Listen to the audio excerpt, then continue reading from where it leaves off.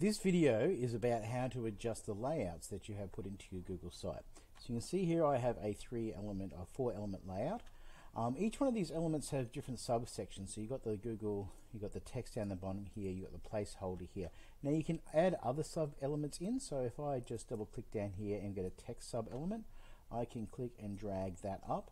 And moving around, you see the little holder that appears there, the little marker that's where it would actually insert the new element. So I'm going to put it at the top here because I want each one of these to have a heading. And at the moment I don't have a heading, I just have text down the bottom for that. So if I'm going to put the four of these in here, and you can also move around the elements that have previously are in there. So I can click on the text down here and I can move him around as well too. But I'm going to leave that down the bottom there. So um, that is how you go about editing and putting the change in the layouts that you actually have already put into your Google site.